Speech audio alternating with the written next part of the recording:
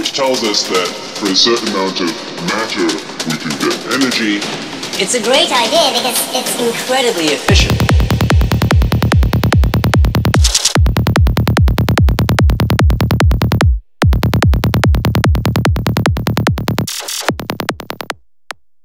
It's incredibly efficient.